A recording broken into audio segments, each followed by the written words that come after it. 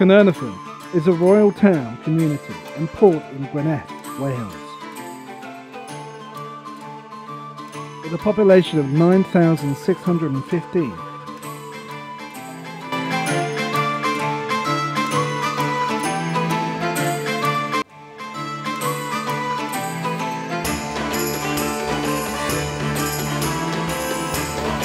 You lead the way.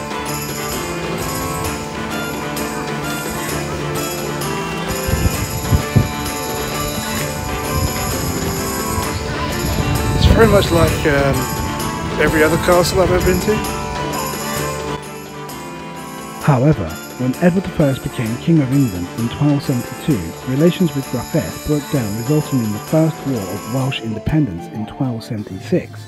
The Anglo-Norman war machine crushed the Welsh and Edward took control of all the land to the east of the River Conway. Gruffydd was allowed to retain his title of Prince of Wales, but in effect, his domain had been reduced to little more than Gwynedd. My legs are still hurting from uh, Snowdonia. This one hurts me.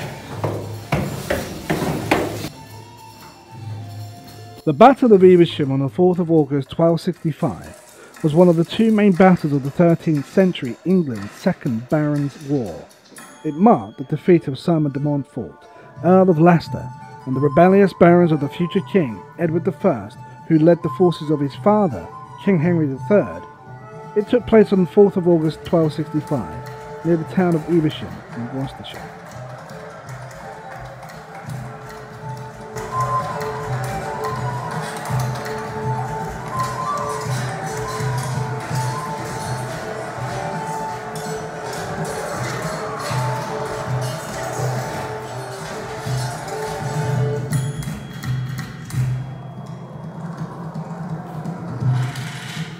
Let's go this way.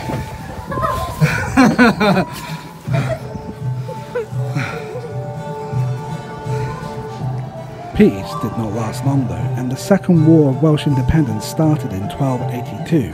This time, Edward I resolved to conquer Wales in its entirety and launched a three-pronged attack from Carmarthen, Chester and Montgomery, plus a maritime assault on Anglesey. Wales was overrun. Gruffydd was killed at the Battle of Orewin Bridge in 1282, and Welsh strongholds were systematically besieged and captured.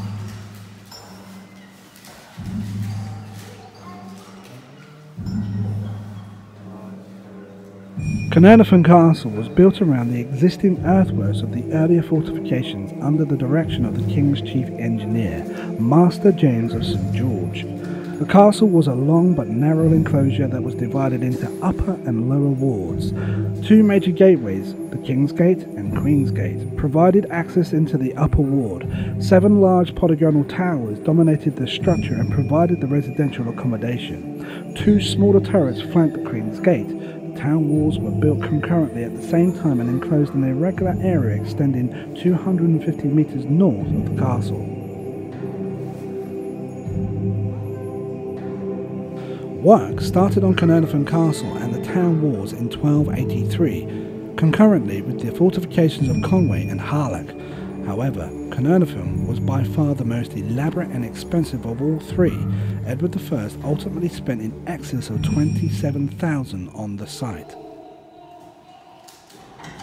In 1284, Edward of Caernarfon is born to the castle, son of Edward I.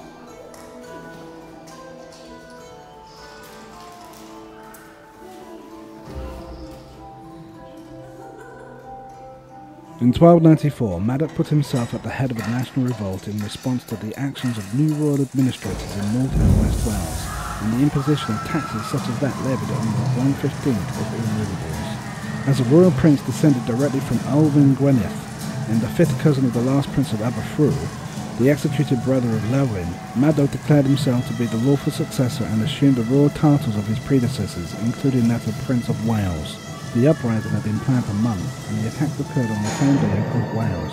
While Madog acted in the north, and the attacks in the mid and south were led by a whole bunch of people's names that I can't pronounce.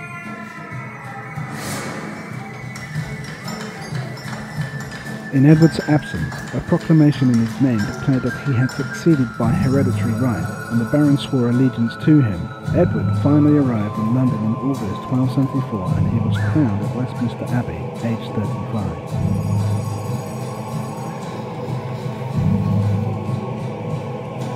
He was a veteran warrior, the best lance in all the world, according to the contemporaries, a leader with energy and vision and with a formidable temper.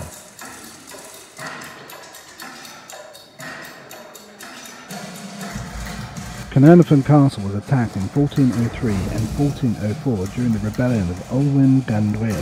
Unlike many other fortifications across Wales, Caernarfon resisted the attacks and provided a secure base from which government forces could operate against the rebels, although it took almost 10 years to suppress the uprising.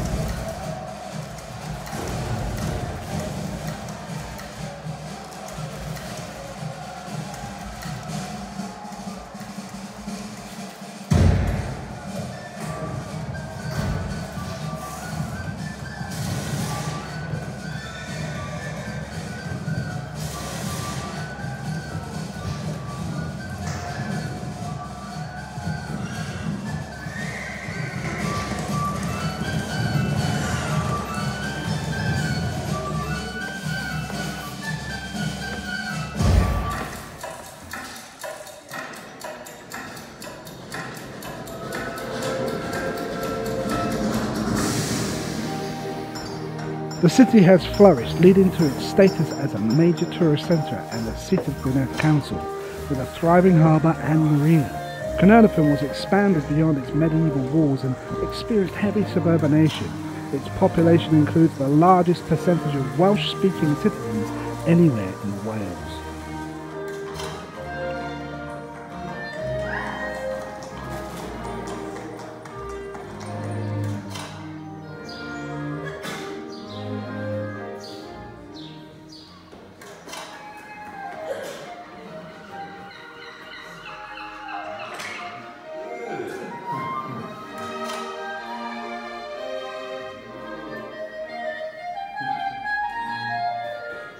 The status of royal borough was granted by Queen Elizabeth II in 1963 and amended by the royal town in 1974. The castle and town walls are part of a World Heritage Site described as the castles and town walls of King Edward in Kenmeth.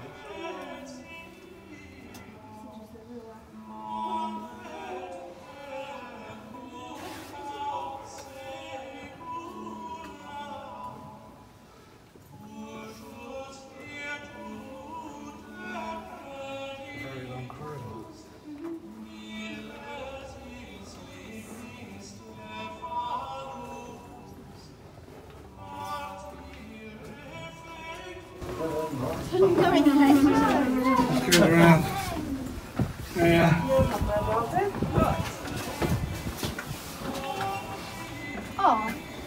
it just. Alright, goes to the viewing point. Caernarfon Castle was constructed from coursed limestone, but coloured banding was built into the walls in imitation of the Great Roman Walls of Constantinople or Istanbul. This was intended to demonstrate a link with the dream of Macsen Wledig, a story recorded in the Mabinogion about a Roman emperor who married the daughter of a Caernarfon chieftain.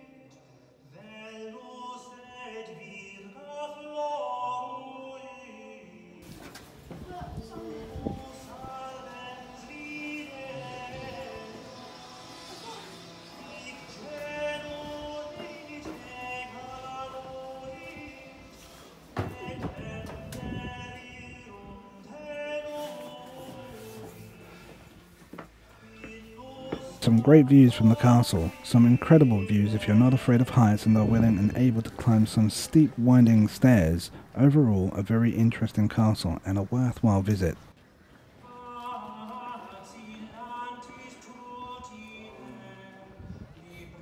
The new features include the Games of Crowns exhibition, a life-size chessboard explaining the origins of Welsh princes, the life of Eleanor and Castile display details in eight phases of the life of Edward I's wives through the Victorian style carousel.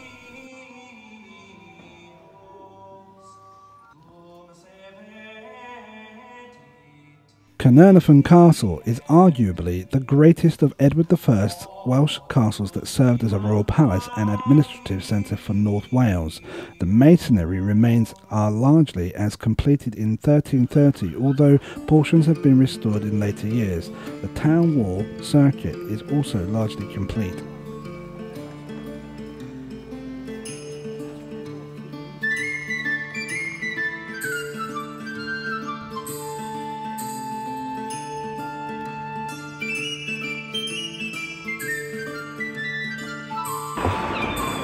Postbox challenge.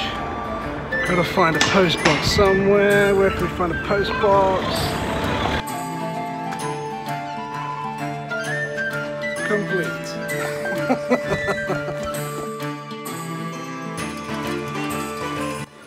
While we hope that you enjoyed the brief but yet historical overview of Caernarfon Castle, which is in North Wales, and I would encourage anybody to go and visit it. It's really interesting. There are not many castles other than maybe Leeds Castle, which is in such good condition.